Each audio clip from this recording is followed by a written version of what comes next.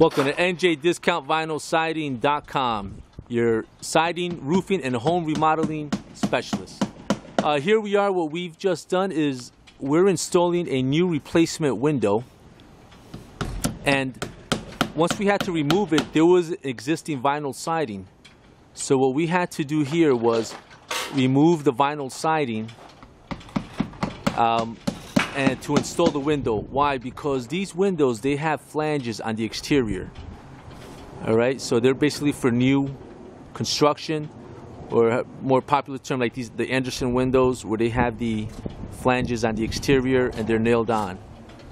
So in order for them to be removed, you have to remove the vinyl siding. Either they have to be unscrewed or you have to tear off where uh, they're nailed on.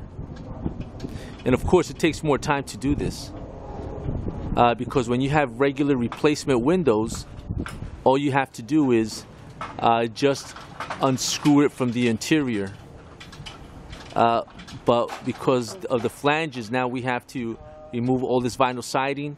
And as you see here, we have to set up a scaffolding system, which takes time. So that's one thing to consider if uh, you're going to install new win- new vinyl windows with flanges.